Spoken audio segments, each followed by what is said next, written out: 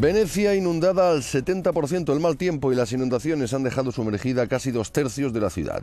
La crecida de la marea en Venecia, conocida como Aqua Alta, alcanzó el domingo un metro y medio sobre el nivel del mar. El norte de Italia se encuentra en estado de alerta por el mal tiempo.